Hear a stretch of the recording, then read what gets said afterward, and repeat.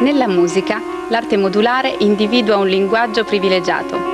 Ad una composizione di base, originaria, che chiamiamo modulo A, per pianoforte per esempio, possiamo aggregare un modulo B, per flauto,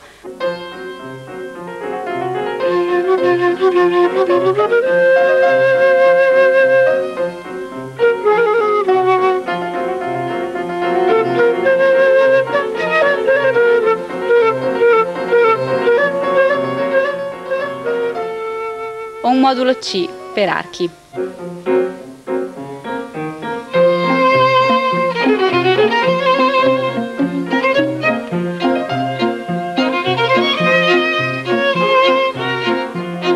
Tutti e tre i moduli possono essere composti o dallo stesso compositore o da compositori diversi in momenti diversi. L'unico imperativo che si chiede a chiunque desideri recare il proprio apporto è quello di rispettare i moduli precedenti.